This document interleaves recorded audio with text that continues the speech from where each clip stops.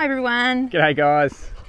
We just wanted to update you all on something that happened over the weekend. A bit of a stressful couple of days, wasn't it? It sure was. Um, we there is no worry or concern. It's all been Uh, resolved. the the story has a happy ending. However, it's a really important story to share with everybody because it could save another dog's life. The only reason that um, Lily's still alive today. yeah is because other people had shared their own stories. So on Saturday night, we had to rush Lily to the emergency hospital uh, with GDV, which is.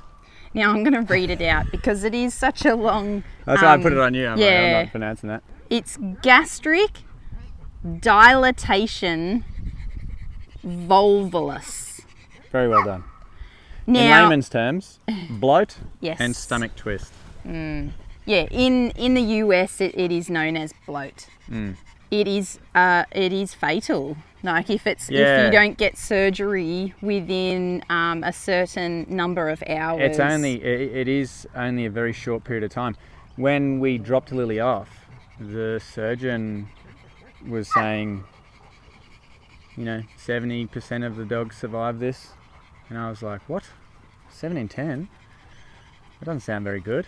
Um, however, long story short, they went in, they did the surgery. It, they said that we must have found it very quickly because there was no damage to the stomach, there was no damage to the spleen, uh, no damage to the surrounding um, tubes and blood vessels. So it was a very clean surgery. They didn't have to remove or cut out any dead tissue anywhere, but that's how quickly it can happen. They twist, the stomach twists, it cuts off all the circulation, and organs start dying and tissue starts dying.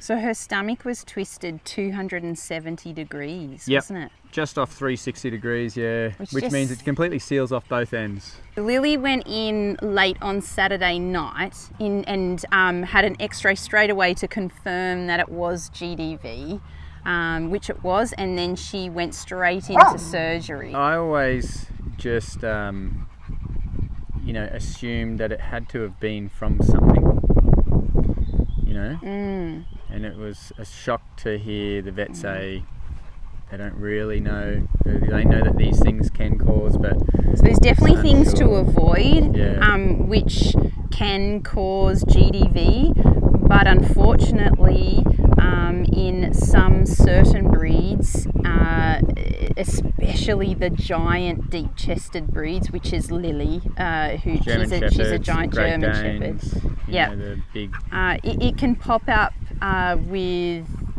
from nothing. Yeah. You know, it just purely is their body type. That's really scary, isn't it? It is scary because if there was something to attribute to that event, Yeah. you could avoid it. Yeah, and it is recommended to avoid um, eating, uh, feeding your dog, and then doing strenuous exercise straight afterwards.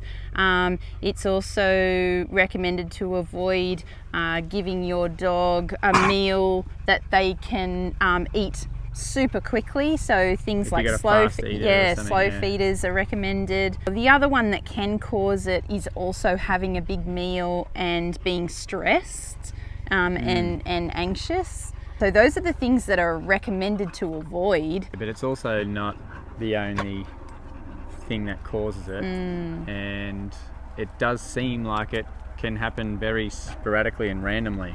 Lily is definitely a dog that is in that top category of or at, at highest risk. Well, she's the typical shape and size Mm. for that condition. Yes. It's common to see it in, in those kind of dogs. I remember um, hearing about it for the very first time from one of our daycare um, dog owners. Um, and one had sadly lost their boxer to it. Mm. They subsequently had another boxer who was coming to the farm, and they had given us you know, these are the things to look out for because their poor family had already experienced the tragedy of it. Like I've, I had heard of it before, but it was the first time that I was really looking out for it, Mm. you know. Um, and then I was looking out for for, you know, all 200 dogs. Uh, because we had a lot of deep chested Yeah. breeds that would come to the farm. They're usually the, the really athletic dogs, you know? Yeah, and we would we were doing strenuous activity all the time. So, you know, if they were coming to the farm, I guess maybe they might have had a big breakfast meal or anyway. Either way, it's always been on a concern. Lily is only here with us today because of the incredible work that Sash, our local vet hospital, did on Saturday night. The most important thing is for us as owners to be aware of what the signs are of GDV. So, the three main signs that have always stuck in my head is the dry reaching. So, it's trying to vomit, but nothing comes up. So, in Lily's case, there wasn't even any bile. Yeah, nothing. Nothing at all. She but just she's making a full sound as if you're really expecting trying you're to, Mm. expecting something to be on the floor. but nothing comes out. Zero. No Yeah. liquid, nothing. Completely dry. So that's a really important sign. Because often when you know a dog has an upset tummy, which is something that maybe some people who aren't aware of GDV might um, mistaken it for, uh, if they do have an upset tummy, then they're going to vomit eh, or you Yeah, know something bring up. something up, um, even if it is just bile. But in GDV, nothing comes up. Um, now, the second sign is they are in excruciating pain. So they're going to show that by being super anxious, very worried, and uncomfortable. Um, now, in Lily's case, she was pacing the floor. Yeah. She was trying to lie down in about 20 different In- in- positions In, a space of five minutes. yeah, Like she's just up in and pla- down, up in places she would never lie down. She was just, uh, she didn't know what to do. Her usual routine is she goes to her bed and she just drops for the evening. That's right. She? She has her spot, but, on this was- occasion, she was up in about five different spots, all sort of facing us Yeah. and, and panic panting, and you know wouldn't settle. We'd just started raising alarm bells. Mm-hmm. so very clear and obvious that she was distressed Yeah. and in a lot of pain. Uh, so the third sign, or the third thing to check, um, is their abdomen. It's going to be, you know, bloated or distended. For everyone at home who has no idea what that feels like, Mm. you just want to make sure that if you can press into their tummy and it feels nice and soft. If it's really hard and, and like they're tensing, that's bad. So Yeah. you're not going to know if it's, you know, unless you're trained to feel it. You just need to know what it feels like normally, which is very malleable and soft and, um, you know, easy to press in. Whereas if it feels like they're really tensing and, and hard, but also visually you are able to see it because it um, often happens in deep chested dogs um, they're usually incredibly narrow um, you know in that lower area. Um, and that was one of the things i could see on lily is that she was no longer narrow in that area. So she was quite um, bloated and large. And time is absolutely of the essence. You know you need to get them in asap they just can't um, muck around with it at all. Obviously you're working against the clock to save your dog but even in this instance where lily has been saved um, because we got her there so quickly, um, it has reduced the damage to all her other organs, which Yeah. is really important. Any deep chested breed um, is susceptible to GDV. I think the scary thing is that um, we could have very easily just thought, let's just see how she is in the morning. it'd be completely normal and, and common to have that thought process? We had also on the Friday um, been preparing for uh, being flooded in. That's Uh, right, yeah, We, we were gathering Lucky- resources Lucky we weren't. and um, you know we have means to get through the flood if there is an emergency um, you know in terms of the bus however um, you know those kind of barriers sometimes might play with your mind and Yeah. and you might think listen let's just wait till the water goes down and Yeah, you know like we won't we won't go through the floodwaters yeah. Driving through floodwaters at night Is, alone. you know Definitely not so- recommended. Do not do it. like all the stars were aligning for Lily um, Yeah. on Saturday night. It all worked out. However, we just wanted to express how, you know, We're hoping that through sharing this experience, it may help Yeah. another owner with a the similar case with their dog, and you know, give them the Yes. the ability to make the right decision and be informed about it, and you know, be able Mm-hmm. to live on an extra however long with their dog. Because it's only because of several people that have shared their stories um, that Lily is here today. Mm. Yeah. So, You don't want to learn that one through experience. You want to learn that one through someone else's experience. yeah. Yeah. Um, hopefully a good one, like this Like one. this one. Exactly. That's what we're doing. Yeah. when I was there at the vets, they said those, um, you know, situations where it to avoid these things, hmm exercise after eating, you know, large meal, eating quite quickly, you know, all those kind of things.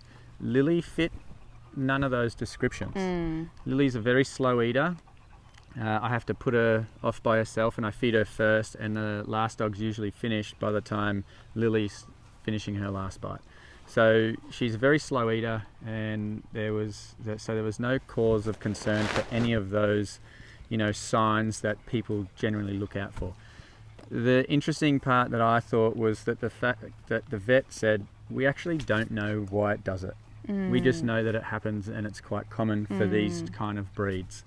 And that was a little bit more scary than if there was an actual reason why Mm. it happened. Mm. So that kind of just makes me feel that you've got to be on edge all the time, looking out for it.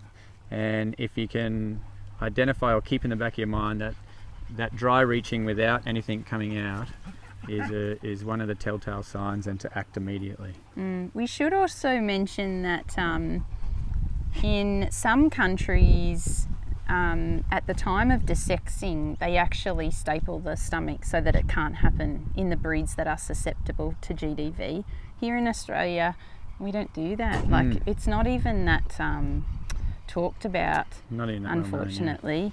Um, so Lily has now had that one stitch, one stitch. That's just Mm. quite incredible. That um, has stitched her stomach to the wall, um, and that means that she can never ever get this again, which is Well, it's Oh. supposed to be. oh okay. Yeah. Wow. It's Uh, it That's has to why- be pretty high they do it. statistics to prevent it, mustn't it? well, you've got to have a few things working against you, but basically they put a stitch through the stomach lining and against the abdomen wall, and it's not a dissolvable stitch, so it'll stay there for a little bit of time. But by the time the stitch does eventually dissolve, the body has made a connection with the two mm. bits of tissue, and it should hold it in place. Mm. Uh, the problem would be is if she did strenuous exercise or had too big of a meal or got bloat again, then it could pull the stretch, uh, pull the stitch before Oh, before it's, healed formed properly. that bond between right the two yes tissues. yep um, but yeah in in some countries that is recommended at Mm. desexing and because it, is such a simple procedure really A simple procedure and uh, could most likely will avoid a life-threatening incident Absolutely. that is brought on suddenly Mm. and is very quick and aggressive. Yeah. And also, you know, the other part that is a bit concerning is the fact that it is one of the more expensive surgeries that they do, and I know that there would be many people that just would have to say goodbye because they don't have the money. Mm-hmm. It's a it, it it's a very sad Yeah. truth about It probably would be something, and I'm sure there's lots of people that are already across all of this. Mm. You know, we're not, but maybe there might be some people that are not. Um, but it could even be something that you might want to look into, even if you have pet insurance that they cover, Whether they cover it, yeah. GDV. because it's a big one. You know, um, Some of Yeah. them, some of them have limits. Pet insurance has a limit of X Mm. amount or whatever. yeah. So Mm. That was that was that was the hot topic uh, in the waiting room at the time. After everyone heard the estimate when they when I came out of the room. Mm. mm. Yeah. Yeah. It's not a good thing, isn't it? Poor, It's it's it's just a terrible situation for a dog owner to be in, honestly. Um, anyway, Lily is um, a happy, positive story or outcome for the hardest thing for Lily now is keeping her quiet. She's not sure why she's not allowed out of the house this morning. She's she? not happy about it. So she only just came home last night. Yeah. Um, so that is Tuesday. Oh, sorry, Monday night here. Yeah. Um, so and today's Tuesday. So she is already not happy about being on bed rest and Yeah. kept inside. she heard that um, ranger start to go feed everyone, and she's just like, At the door barking. yeah, I could hear her. Let, From let me out. house. Let me out. Um, Didn't you, darling? so we do have to try to keep um, Got to keep quiet. it quiet. Got to keep it dry. Standard um, post-operative procedures. Mm. We've It's- had some major surgeries here. Know you know, the back of our Rover, Tilly. Um, Yeah. I don't know who's got the biggest one so Th- this, far. This is you reckon one. Lily? Yeah, Lily's. this is a big one. Tilly, Tilly is up there, but Mm. uh, this is uh, the bandage is still on. Mm. But she's a big dog, and they had to open it right up to get in there and look at everything. So Mm. Yeah, because they've got to check that um, there's no jam- damage Yeah, um, to any other inspect organ all or the all the tissue and the surrounding areas. Yeah. They've got to have a, have a nerves good and look. Yeah. Uh, Very, so, very lucky that nothing else was damaged. so though. lucky. Yeah, Mm. I can't believe it. I was so stressed on Saturday night. Like, you know, I just was couldn't. I definitely didn't sleep. Um, you know, Lily went in and um, it. w- They, we were told it was a four-hour surgery, Yeah. weren't so we? what, what time we go in? Nine nine p.m. Yeah, and um, They called us. they called us it at- one, but we were thinking it was going to be more like two a.m. Um, Yeah, so we they would. called it 1 a.m. 1 a.m.. Said it went well. Yes. So But that's that's kind of all they said, as if because they said they won't really know ultimately, but they just called and were like, "Yep, it went well. It's all clean. She survived. You know, she Yeah. she woke up because that's obviously some of the big concerns about it all. they just don't survive the surgery. Because usually with the surgery, any planned surgeries, they don't want any food in their belly. They don't want all this other stuff going on, and obviously This is uh, an this is emergency, surgery, so the risks are higher again because all Mm. those things have been mitigated. And also all the damage to other parts, like, you know, I think Mm. spleen was a big one, wasn't it? Spleen removal is quite common after Mm. DVV, D. GDV. GDV. Yeah. and a lot of the time, if it's been twisted for long enough, everything dies, and that's why the dogs don't survive. As in, all the all the nerves and uh, blood flow and all the tissue dies, and they can't get it to flow again Mm. into those areas. So it's it, it is quite drastic and very surprising to see just how quickly it can unfold. Yeah. But you're here, Lil, aren't you, darling? Look at her. She's so happy to be home, the poor thing. Oh yeah. Because when I went to the vet, you know, I was sort of just expecting that we'll go in, they'll do a quick assessment, you know, they'll let us know what's going on. And she was pretty much just whipped away from me, ducked out the back. I didn't see her again, and next thing I know, I'm having a third interview saying we're going into emergency surgery, sign these papers. And I was like, Yeah. I don't even get to go up and give her a, give her a hug and say, you know, you'll be right. Nothing. Just that, Yeah. was, that was a bit of a a shock. You know, completely unprepared to potentially never see her again. That was that was yeah, deal and um, you know, obviously we didn't go to sleep. We were just sitting there waiting for the phone call because um, it is such a coulda- major it could have been a phone call. and many dogs don't survive. So Come you know, we know of some um, dogs that haven't. Uh, so it is very stressful, but um,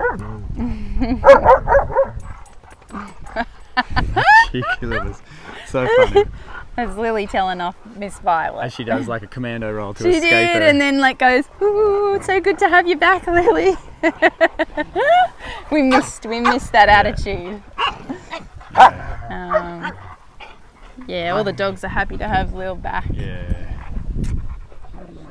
It's good. Life is good.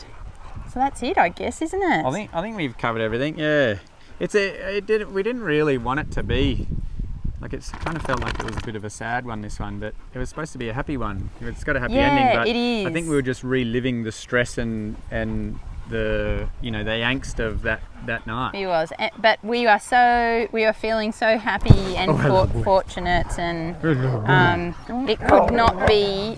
Oh goodness, a better outcome.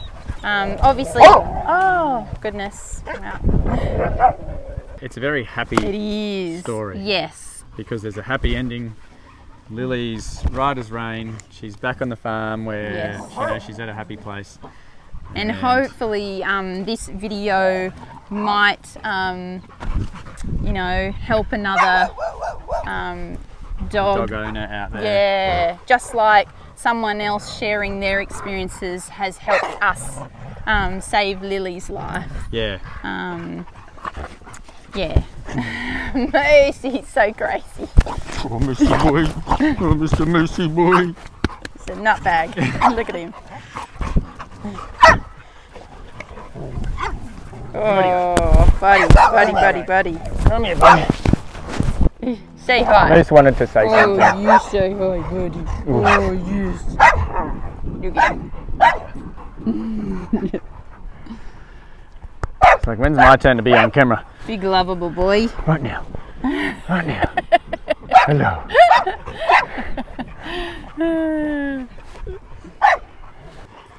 All right. Well, nope. It seems like Moose has had enough of videoing for today. yeah, we're standing still for too long. Look at these two sweet boys. They are like, that dog is a nutbag. Everyone's like that dog is a nutbag. Oh my goodness, he is so cray cray. Good boy, Tank. Good boy, bud. Picking up like a baby. Uh-uh. Yeah, well, let me just get in this side in case the camera's not. he's, he's a funny dog. He's such a big boy, isn't he? ah. And he jumps around like he's a cat. Ain't you, mate?